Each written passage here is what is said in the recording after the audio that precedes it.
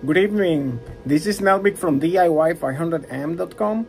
Uh, I want to talk today about what is the best method to identify what material do you have if it's uh, pure nickel, uh, nickel steel, when you buy your nickel, your, your metals. Okay, I'm gonna show you a nice, um, in my opinion, the best method to identify uh, which material do you have we have here an IR meter. That this is an internal resistance meter. We use these meters uh, to identify uh, the internal resistance from batteries, but as well, it works for metals.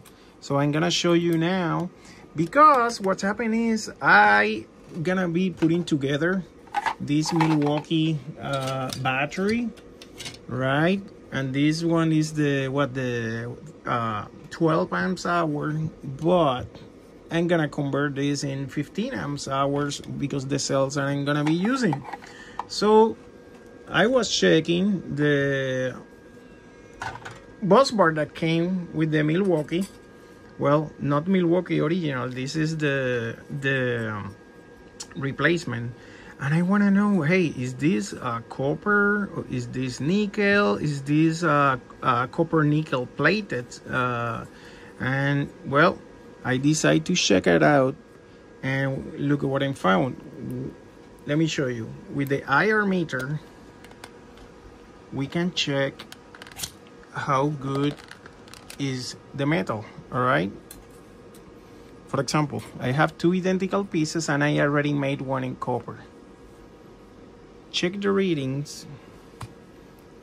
When we read between here and here the distance you can see the reading that is say 1.3 1.4 milliohms now check the same piece in pure copper.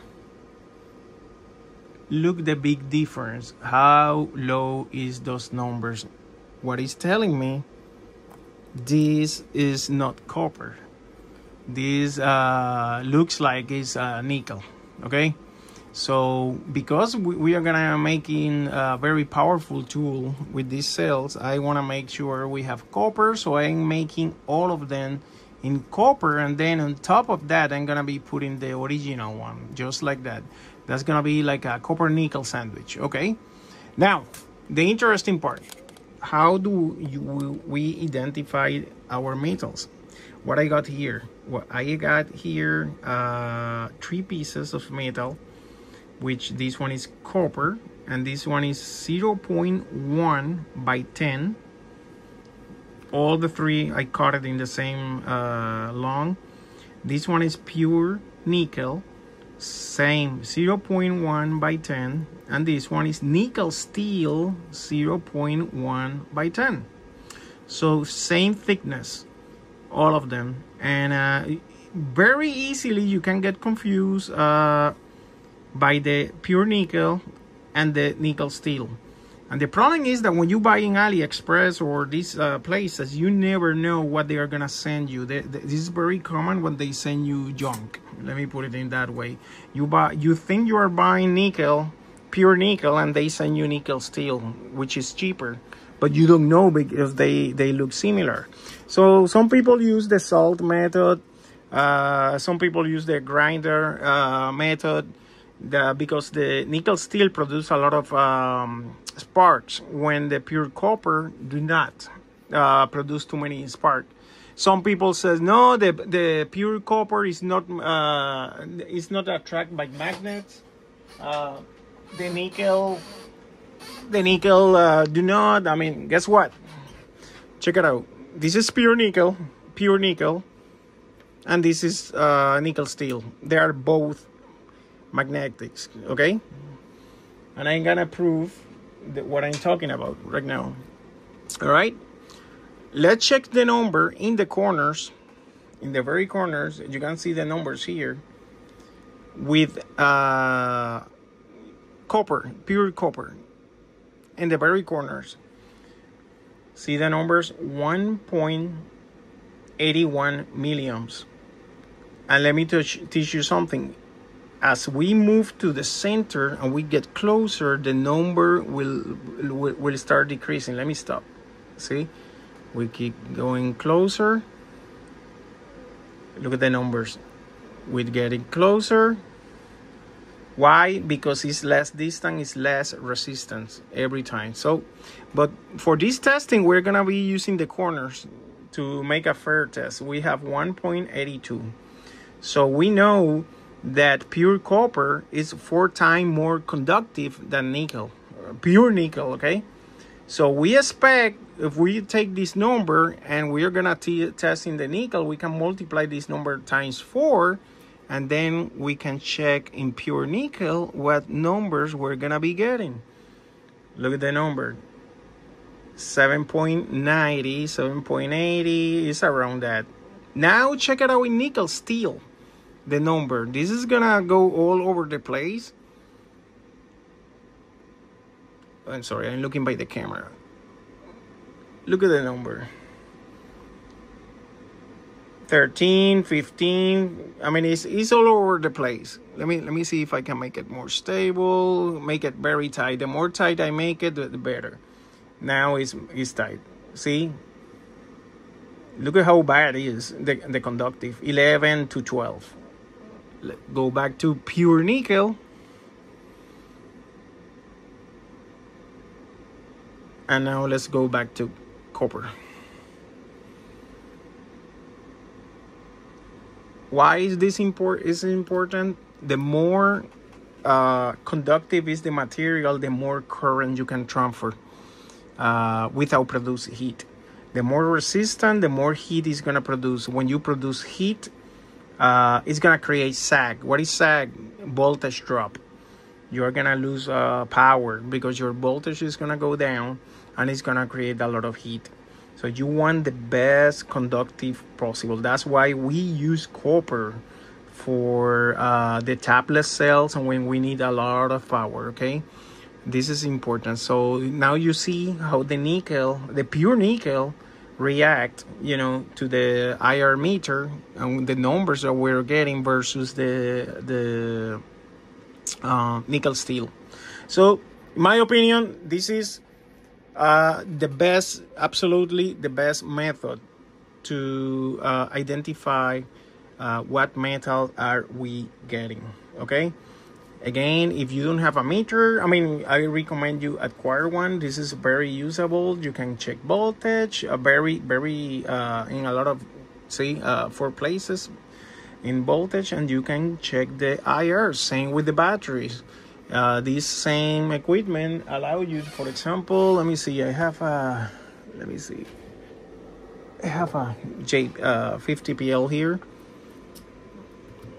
We do the same test with the batteries. More difficult with these cables, but look at this. This is fully charged. This battery is almost fully charged, but we can see the IR. We, we need to make it very tight to explain something. I want to explain very something very important some people doesn't know. The IR, and actually let's let's do this test now the IR will be affected based in temperature. And if you give me one moment, I'm gonna change this for clamps to show you something. Okay, I'm gonna be installing to the meter the clamps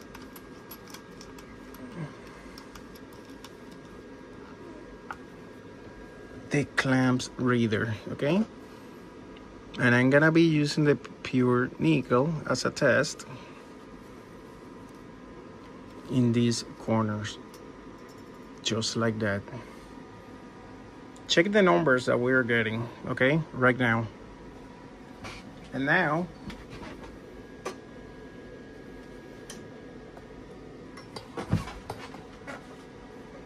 to show you how IR is affected by temperature I'm gonna show you what what is gonna happen when you up, we apply heat to the metal.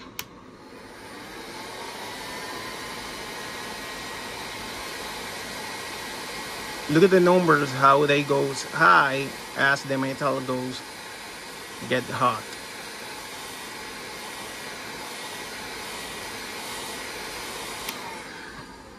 Exactly the same thing happened to the batteries. You see how it's going down now when it start cooling down? Exactly the same thing happened to the batteries. When the battery start heating up, it increase the IR and then that decrease the voltage. So we have voltage drop. This one, um, even touching, we can we can affect the IR. This one is very quickly affected because it's very thin and it cooled down very quickly because the same reason.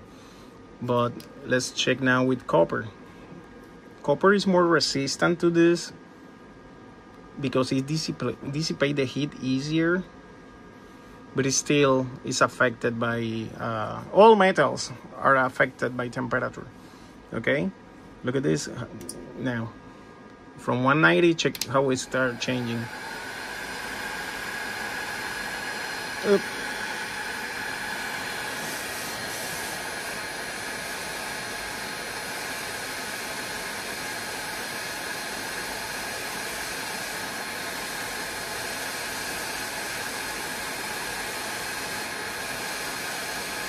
As soon as I shut it off, you're gonna see how it goes down.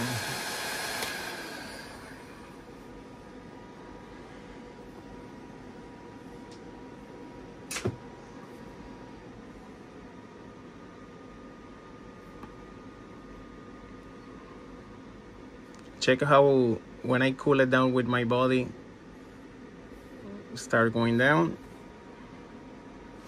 All right, so that's to show you that um, again IR is affected by temperature.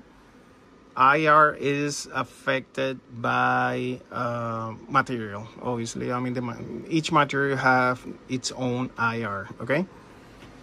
Uh, the correct way in the batteries to measure IR is in uh, um, oh my god nominal voltage. That's the correct way to measure IR in batteries okay? Well I don't want to make it longer. If you like my content uh, subscribe to the channel and uh, uh, as well visit the Facebook group. Uh, you are welcome there. We have a DIY 500 amp is the Facebook group and the people thank you for support the store diy500amp.com where we have your batteries we have your pure nickel we have your nickel steel we have even the the new copper uh, plated uh, nickel plated i'm sorry. Copper nickel plated we have that we have your bus bar we have everything you need and your favorite spot welders. Okay thank you for supporting the store. Have a happy thanksgiving